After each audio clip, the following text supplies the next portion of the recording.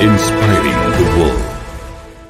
Kita ke sorotan lain ya saudara. Selama buron, eh, setelah buron selama beberapa hari, pelaku pembunuhan dengan mutilasi yang korbannya ditemukan dalam koper di Kecamatan Tenjo, Kabupaten Bogor, kini ditangkap. Pelaku ditangkap petugas Satreskrim Polres Bogor di daerah Yogyakarta.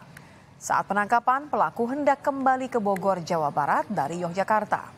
Diduga aksi kejam pelaku dilakukan seorang diri terhadap korban berinisial R, warga Medan, Sumatera Utara.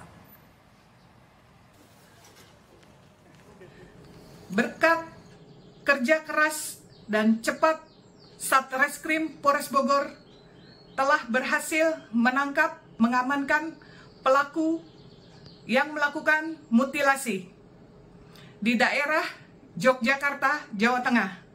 Dalam hal ini diketahui pelaku berinisial R dan sedang uh, perjalanan dari Jawa Tengah Yogyakarta menuju Bogor.